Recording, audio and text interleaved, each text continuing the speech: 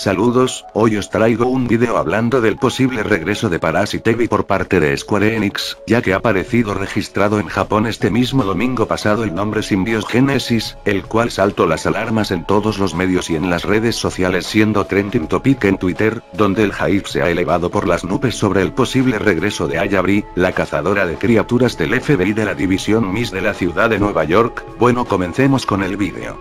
Parece que Parasite podría estar regresando gracias al dominio web que registró Square Enix el domingo pasado llamado Symbios Genesis. Este dominio web está bastante relacionado con Parasite Eve, ya que se lleva desde hace unos cuantos años hablando del regreso de Parasite Eve, ya que en 2019 Square Enix registró el dominio en Europa, hasta el 22 de noviembre de 2028, pero todo esto podría haber cambiado de la noche a la mañana por conflictos de derecho de autor con el farmacólogo y novelista japonés Hideaki Sena, autor de la novela Parasite Eve, libro de ciencia ficción y horror que fue escrito por Hideaki Sena en el año 1995, debido al gran éxito de este en Japón se realizó varias adaptaciones del libro, se hizo una película, mangas y Squaresoft desarrolló dos juego exclusivo para PlayStation.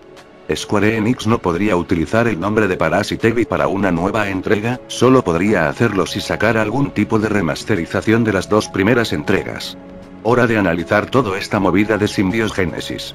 sobre si es el regreso de la sexy Ayabri, y sobre un posible reinicio de Parasite Eve, bautizado ahora bajo el nombre Symbios Genesis, yo personalmente creo que podría ser el regreso, ya que Square Enix habrá visto que a la competencia le va bien con sus franquicias de sus sagas famosas con sus respectivos remake, Capcom con Resident Evil 2, 3 y 4.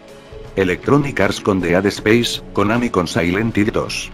Sí, Square Enix quiere regresar con una nueva entrega bajo el nombre Symbios Genesis, yo creo que es el mejor momento para regresar por la puerta grande, ya que como dije antes se lleva desde hace unos cuantos años hablando de su posible regreso, ya que es una saga muy querida, sobre todo para Asitegi 1 y 2, el tercero tenía pinta de mierdona más no poder, ya que se desviaba del terror de las dos primeras entregas para darle un aire a shooter y dejar el terror a un lado, cosa que no gustó a los que jugamos las dos primeras entregas, por eso espero que si Symbios Genesis es el regreso de Ayabrea, que sea como las dos primeras entregas. Donde podríamos ver el anuncio oficial, yo diría estos tres eventos lo más probable, ya que si tenemos el dominio web registrado Square Enix lo anunciara en algún evento, como el showcase de Zombie, que se rumorea que podría ser en noviembre, si no hay evento de Zombie, pues habrá que tirar con un state of play de 20 minutos para hacer anuncios atrasados y para terminar el año, y el último sería en diciembre en los The Game Awards de Geoff Keighley.